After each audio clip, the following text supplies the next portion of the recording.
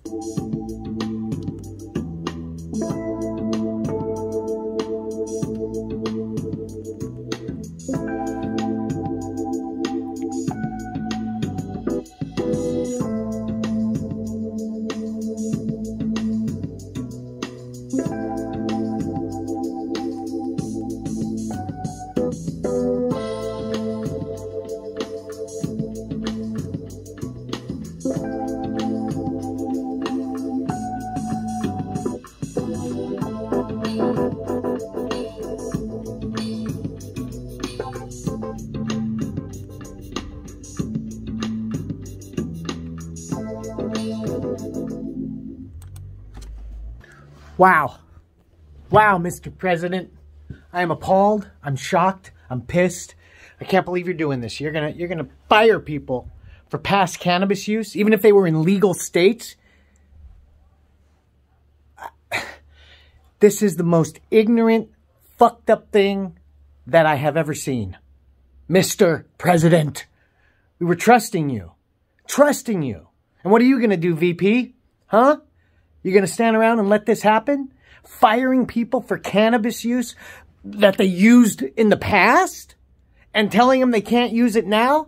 What if they need it for medicinal purposes? What if they have cancer? What if they have epilepsy? What if they have a whole slew of medical problems that only cannabis can fix? That's fucked up. This is fucked up. And it's shut the fuck up Friday. Biden, you need to shut the fuck up about cannabis.